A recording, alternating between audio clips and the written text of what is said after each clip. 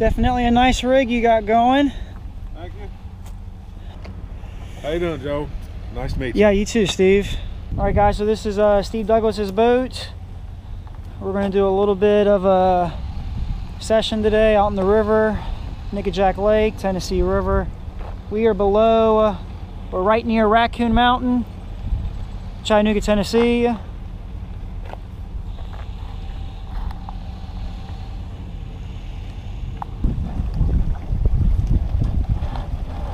Steve is from Kentucky.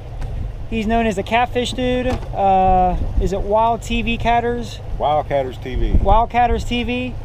And uh, he's fishing in the Scenic City area. This is uh, kind of where I'm from, and so we're going to have a great time. Uh, we're in Raccoon Mountain right now. So hopefully we can get a good fish or two on this evening bite. Let's see what we can get. Steve has a kitten. Steve, what's the kitten's name? Monkey. Monkey. Lisa named it Monkey. It's awesome.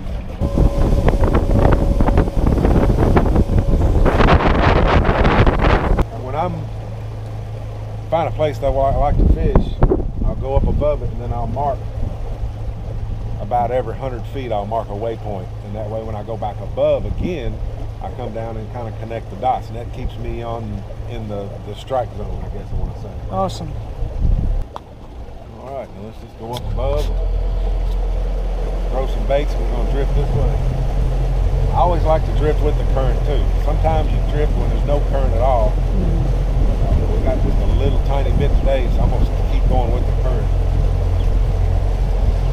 Just a mind thing for me. It may not matter at all, but it's just So what you've done is you've created a path, Exactly. essentially, right? Okay. now it's easier to follow. And if we just was to start, you know, I may veer over like to see we come up here in real shallow water. hmm but now I've marked it so we'll, we'll stay in that consistent 55 60 foot range.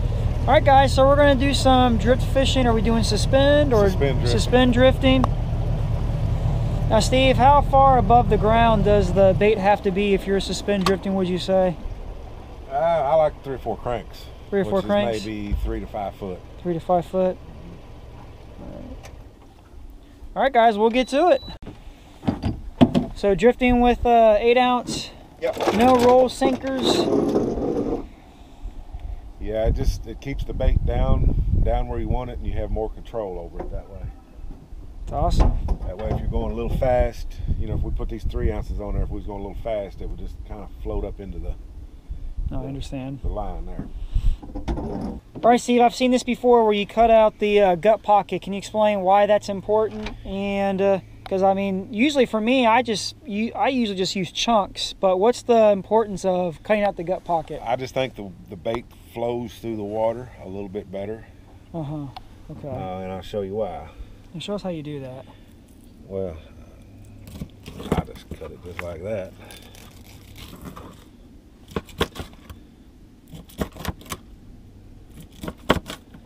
I don't like my lines twisting and stuff.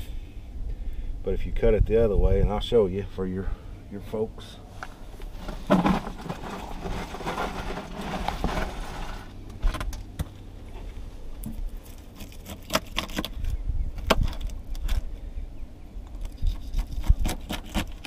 We just cut it just like that, we're gonna Mhm. throw it out there. Now what's gonna happen? All this stuff's just gonna fall out just Gotcha. like there. Right. That cavity is gonna catch water and start spinning if you're, you know, moving any kind of Right, current or anything. right. So that's why I like to just cut that off. Eliminate that Interesting. completely. That's a new thing I learned there.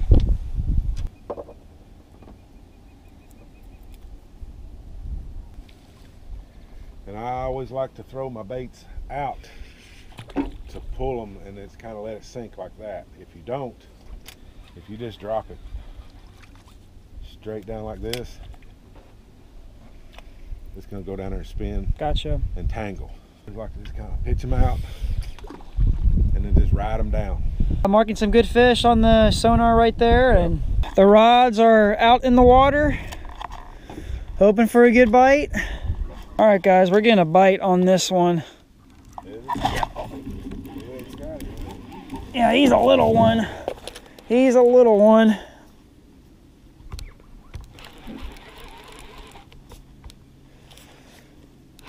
This is how we get it done with uh, Steve Douglas. Wildcatters TV, right? Did I say that right? Catch the little ones. it's a fish. That'll work, I guess. That'll work. Slime lovers, that's for sure. Oh, I like get a. Oh, Steve, whoa. There you go. You got one? Oh, yeah. Yeah, this one definitely is a, A little better? yeah. Shaking a little bit. We found the spot. He's a little better, huh? Oh, yeah. Oh. Yeah, he's blowing them bubbles too. You want to do the honors of getting him in, or? Yeah, go ahead and uh, let him blow them bubbles there. All right. I mean, I guess you're aware of that. Yeah. Water too fast, they, uh, Yeah, You gotta let him decompress a little bit. is he hooked good? I think so. Yeah, corner of the mouth. Yep. Now, Steve, talk about the importance of decompression, if you could. Well, when you pull them up out of the water real fast, uh, I really don't know what happens. Some kind of chemical reaction in their belly. Uh, it just it bloats them, and if you, you kind of let them thrash around a little bit, they release that pressure, Right. and they'll be able to go back down into the depths. Right now, if we was to release him, he would just float and couldn't get back down Right. and, ultimately die. Yeah, it's kind of like the wind getting knocked out of you in a way. Um, definitely important to do for sure. Why don't you try my new net? Yeah, the Hydro Web. All right. Pull out straight out. There you go, one-handed.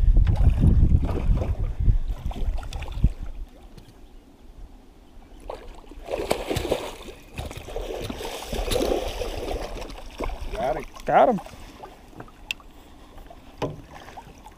All right, he's a, Alrighty. Maybe 15. Well, not bad.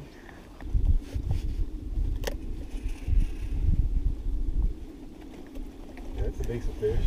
yeah.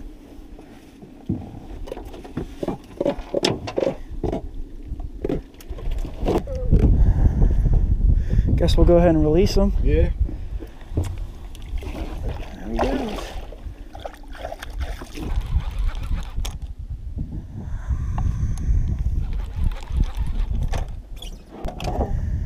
Get him out of that motor. He's Oh, feeling a little bit better, ain't he? yeah. Lisa, you want to come over here? Uh, about the same. Probably same. Nah, it's a little bit bigger, you're about the same fish. That's a little bigger, I'd say. He has a uh, bluegill or Bass or something. or a bass or something. Look at that, guys. That's awesome. Alrighty. Here, let me get a picture of that for you, too. All right, let's go ahead and release them. Yeah. Sometimes you wonder why he even eat that bait. 'cause he already has Tell us, Steve, the the difference, like with this one, like this one, and then this one, or are they all kind of They're all going to do the same thing. You know, all the pressure's on, you know, small area right here. right? But to where this, there's a lot of pressure and it's not going to damage your cork. Gotcha. You getting ain't you? Oh. Uh, he's moving a little too much. It's all right though. We are suspend drifting, and this is uh, one of Steve Douglas's main techniques on catching blue catfish on the Tennessee River. We are fishing uh, near Raccoon Mountain, uh, Nickajack Lake. So, and then uh, this is what we're getting. Oh, yeah, he's pretty nice. There's my grippers. What kind of hooks do you use, Steve? Mustads. Mustad? Good solid fish. I mean, if I was in a tournament, I wouldn't I wouldn't be mad at these. This is the one you want to take home and fry.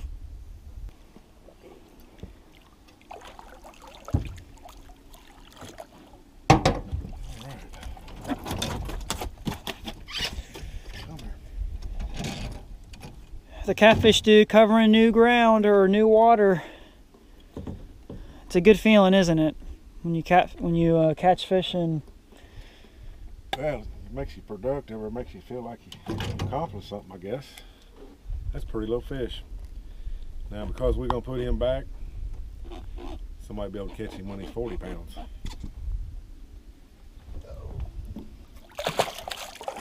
All right, guys, we had a great time fishing with uh, Steve Douglas, the catfish dude, Wildcatters TV. Steve, I, I appreciate you taking me out. It was, it was an honor fishing with you, and I've watched your videos for quite some time now, and I appreciate the time. Uh, Had you- fun. Yeah, definitely teaching me suspend drifting and everything. We got some good fish, and stay tuned for the next uh, Chatt Cats fishing episode. See you guys.